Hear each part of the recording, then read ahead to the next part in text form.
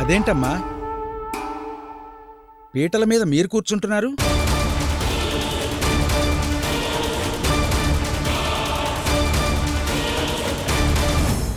ఇలా అంటున్నానని తప్పుగా అనుకోకండమ్మా. జాతకరీత్యా శాంతి జరిపించాల్సింది రాజశేఖర్ గారికి కాబట్టి ఆ దంపతులు ఇరువురూ వచ్చి కూర్చోవాలి. మా సిస్టర్ ఇంట్లోంచి వెళ్ళిపోయి టూ డేస్ అయింది. అన్నది నిజమే ఉంటుంది వదినా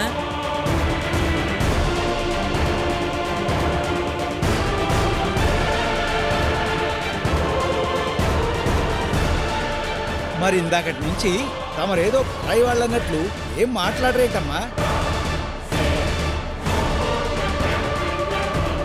తమరు భార్య అయినప్పుడు మీరిరువురు వచ్చి హోమం జరిపించండి.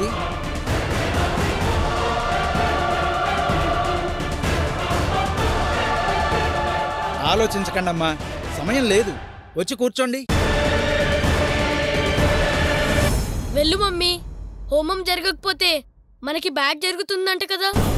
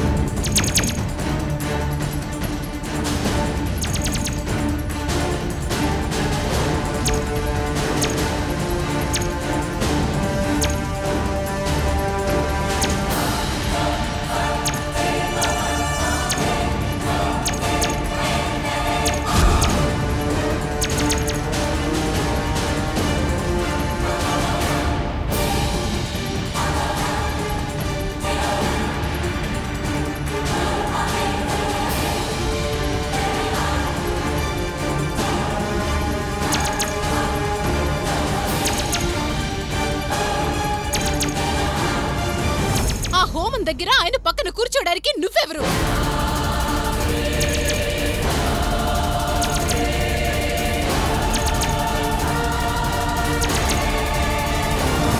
ఏ హక్కుతో కూర్చుంటున్నావు?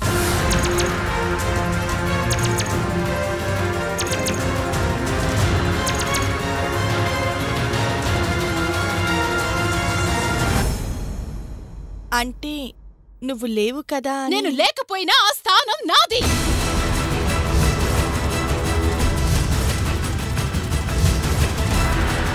నా స్థానంలో కూర్చోడానికి నువ్వెవరు?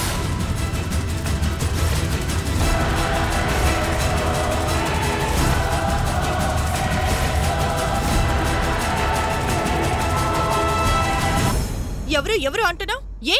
నేను రాజశేఖర్ భార్యనే కదా.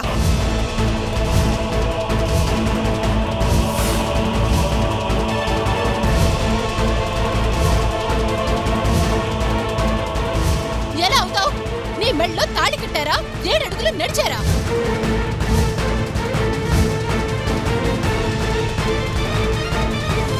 మా బంధానికి తాళి సాక్ష్యం అవసరం లేదు. మేము భార్యాభర్తలం అవ్వటానికి నా బిడ్డే సాక్ష్యం.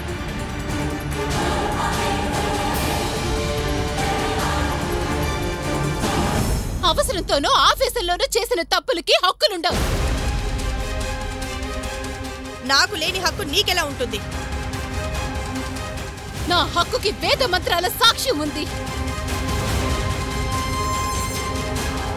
అగ్నిదేవుడి ఆశీర్వాదం ఉంది. అన్నిటికీ మించి నా మెళ్ళో తాళుంది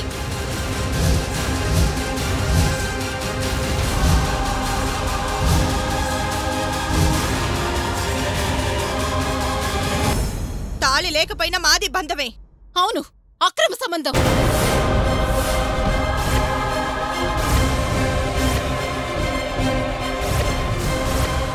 నాది అక్రమ సంబంధం అయినప్పుడు నువ్వెందుకు ఇంట్లో వచ్చి వెళ్ళిపోయావు? నా ఇంట్లోంచి నేను వెళ్తాను వస్తాను. అడగడానికి నువ్వెవరు? నీ ఇష్టానికి నువ్వు ఇంట్లోంచి వెళ్ళావు. దానివల్ల పరువు పోయింది ఎవరికి? పరువు గురించి నువ్వు మాట్లాడుకు. అది బూతులా వినిపిస్తుంది.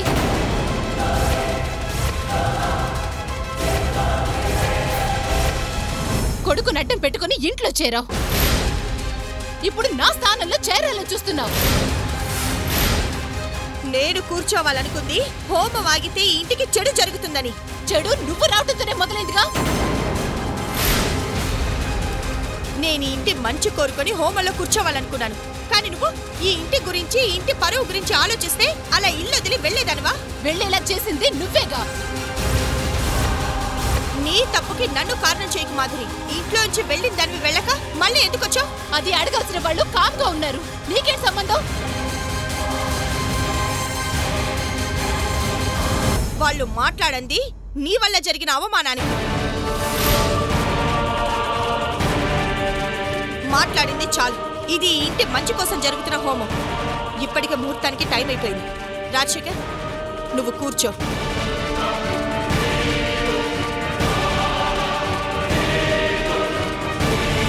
నన్ను కాదని నా భర్త నీ పక్కన కూర్చుంటారా?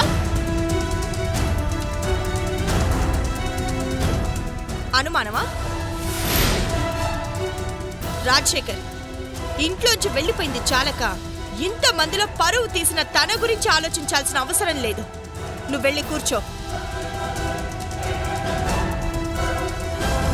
కూర్చోమను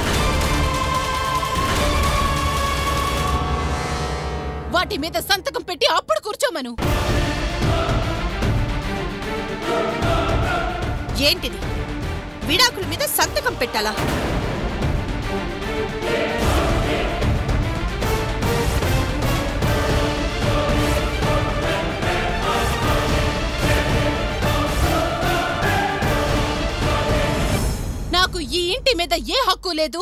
ఆయన పక్కన స్థానం నాది కాదు అంటే ఆ విడాకుల మీద సంతకం పెట్టి అప్పుడు కూర్చోమను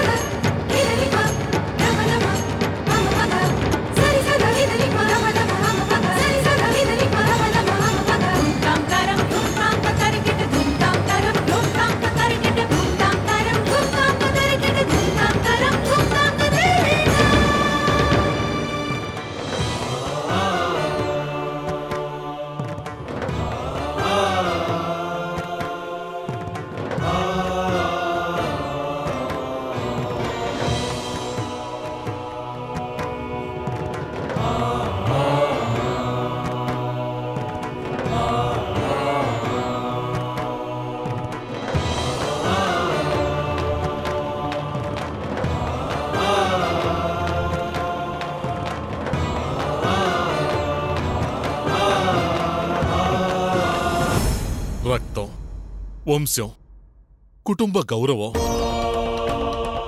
ఏవి? అవన్నీ ఏమైపోయాయి? ఎవరికీ లేవు. మనకే ఉన్నాయి అన్నట్లు మాట్లాడేదానివి కదా. చూడు. ఈ హోమగుండంలో పడి అన్నీ బూడిదయ్యాయి. ఆ అమ్మాయి కావాలనే ఇదంతా చేస్తుంది అంటే విన్నావా? నాది అనుమానం అన్నావు. మరి ఇప్పుడేమంటావు? వయసు మళ్ళాక మనవుడు మనవరాళ్ళ మీద ప్రేమ ఉండటం సహజం. కానీ ఇంత గుడ్డిగా ప్రేమించకూడదు. ఆ ప్రేమే ఇంత దూరం తీసుకొచ్చింది. మనుషులు బాగుండాలి అంటే మనసులు బాగుండాలి. ఆ అమ్మాయి మనసు మనలా మంచిది కాదు. అది నాకర్థమైంది. నీకర్థం కాలేదు.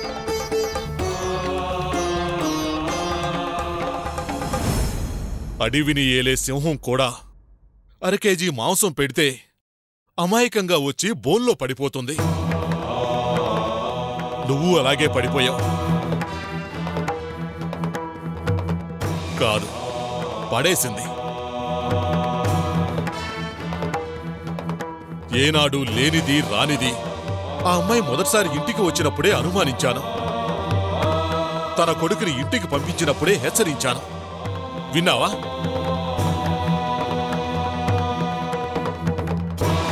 మనిషిని మనిషి సులభంగా మోసం చేయగలిగేది. ప్రేమతోనే. వంశం వారసత్వం మీద నీకున్న ప్రేమనే ఆయుధంగా చేసుకుని ఇదిగో. ఇలా నలుగురిలో అల్లరి పాలయ్యేలా చేసింది. నేను వెళ్ళడిగితే కాదని రాజశేఖర్తో ఇంటికి పంపించినప్పుడే చెప్పాను. వాడు మనల్ని పాతాళంలోకి తొక్కటానికి ఆ అమ్మాయి పంపించిన వామనుడు అని.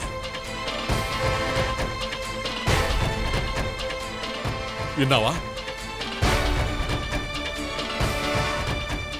ఏ రోజు ఏది విన్నావు కాబట్టి? ఈ రోజు వినటానికి. అయినా మనుషులు మనసే ఇంత. మంచి మాట చెప్పినప్పుడు అర్థం కాదు. నష్టపోయాక అంతా నాశనం అయ్యాకే అర్థం అవుతుంది.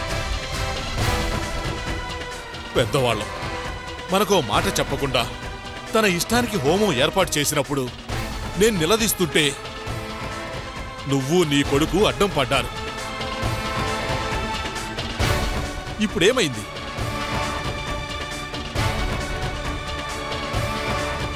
ఈరోజు మనం ఇలా తలదించుకోవడానికి కారణం ఆ అమ్మాయి గొప్పతనం కాదు. మన పిచ్చితనం.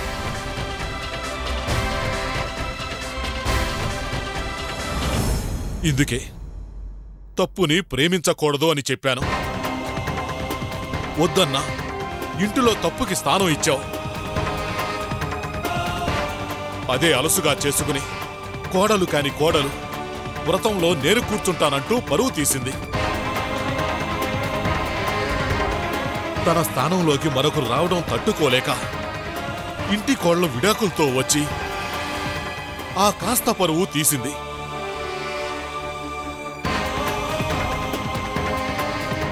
పరువు పరువు అంటుంటావే. ఆ పరువు ఈరోజు ఇదిగో ఇలా మిగిలింది.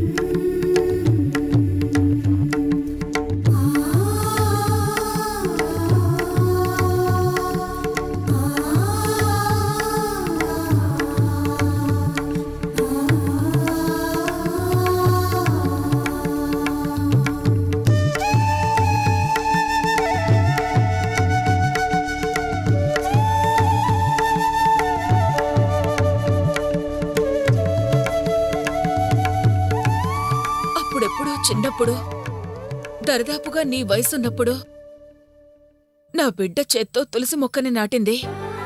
మళ్ళీ ఇన్ని రోజుల తర్వాత నీ చిట్టి చేతులతో తులసి మొక్కను నాటి నా బిడ్డను గుర్తు చేశావమ్మా.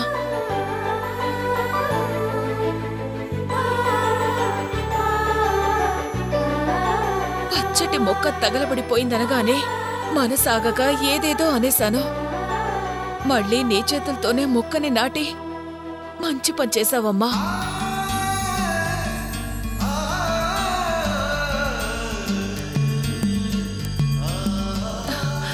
ఈ మొక్కిక్కడుంటే ఉదయాన్నే లేచి పూజ చేస్తుంటే నా కూతురే గుర్తొస్తోంది. ఆ జ్ఞాపకం మాడి మసైపోయిందని బాధపడ్డాను. నీ చేత్తో తొలసమ్మని నాటాక ఆ జ్ఞాపకం మళ్ళీ బతికినట్లయింది.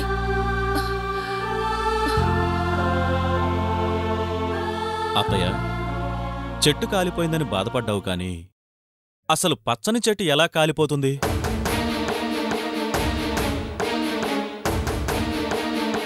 కోపంలో ఏదో అనేశాను కాని తర్వాత నాకు అదే అనుమానం వచ్చిందిరా.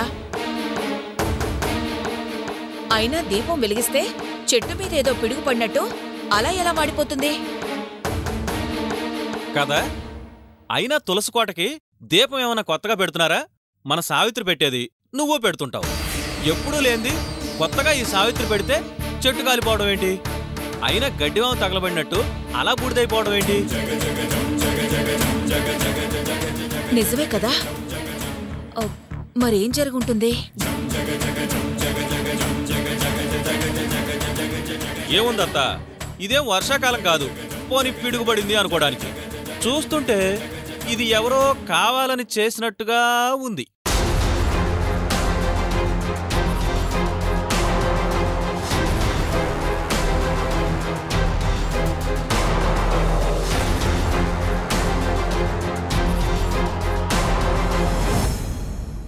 అవును అంకుల్. అదెవరో కావాలని చేసిన పని.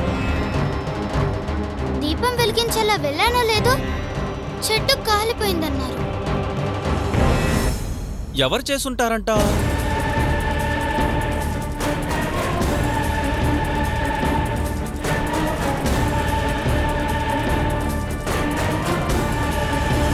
ఇగో ఇద్దరు నన్ను చూస్తారేంది? నేనేదో మాట పెట్టినట్టు నా తాన కథలు పడుకుండ్రి. ఆ? నేనేదో మామూలుగా చూస్తే నువ్వెందుకు బంగారం అంత ఉలిక్కి పడుతున్నావు? దొంగ ఎవరంటే భుజాలు తడువుకున్నట్టు. పాపం ఝాన్సీని బాధపడతారు. తానెందుకు చేస్తుంది? గీదేంది నాకు సపోర్ట్ చేస్తుంది. అంతేనంటావా? మన ఇంట్లో ఎవరు చేస్తారు అంకుల్? బయటి వాళ్ళు ఎవరో చేసుంటారు ఓ.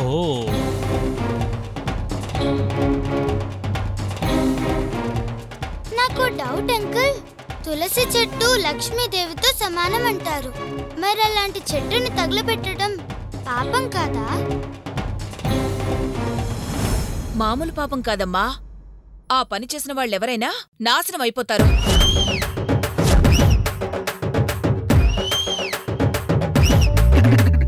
ఆ పాపం అనవసరంగా నిన్ను తిట్టించిన పాపం రెండింటికి కలిపి తగిన శిక్ష అనుభవిస్తారు.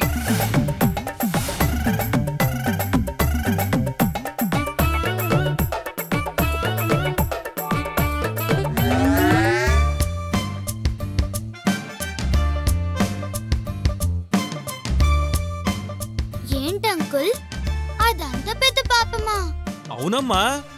తులసి చెట్టును తగలబెడితే పక్షవాతం రావచ్చు.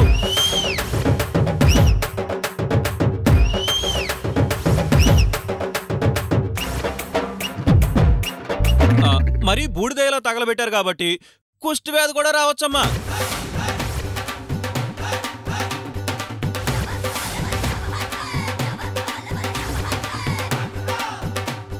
తగలబెట్టిన చేతులు అందుకు సహాయం చేసిన చేతులు రెండూ విరిగిపోవచ్చు. ఏదైనా చెప్పేది నిజంగా గట్లయితదా? ఇది నేను చెప్పింది కాదమ్మా. తులసి పురాణం అనే పుస్తకంలో రాసుంది. కావాలంటే చదువుకోవచ్చు. అవును. నువ్వెందుకు కంగారు పడుతున్నావు? నేనెంత కంగారు పడితే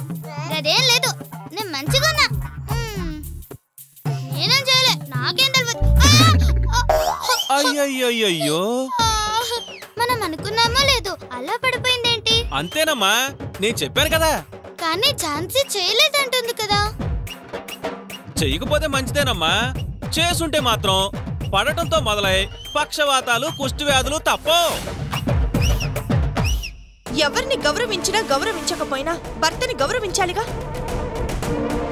నువ్వంటే ఏ మాత్రం గౌరవం ఉన్నా అలా ఎదురు మాట్లాడుతుందో చెప్పు. నాకు విడాకులు ఇవ్వు అని అలా నీ మీద పేపర్స్ విసిరేస్తుందా?